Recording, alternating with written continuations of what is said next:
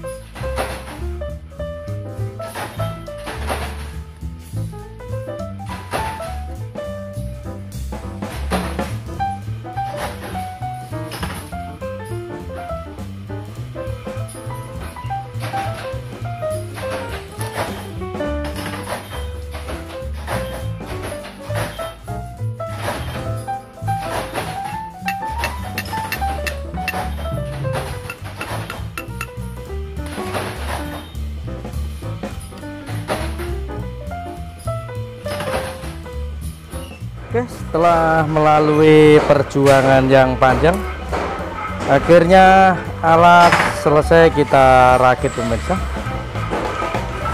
Ini tinggal kita pasang di mesin. Dan kita akan uber untuk produksi produk ini kisaran 20.000 piece. Nanti bila ada kurang lebihnya kita akan lakukan penyesuaian di atas mesin supaya hasil lebih maksimal. Oke? Mungkin itu dulu yang bisa kami bagikan. Terima kasih sudah mampir di channel kami. Jangan lupa untuk banyak bersyukur dan bermanfaat buat banyak orang. Sekian dan terima kasih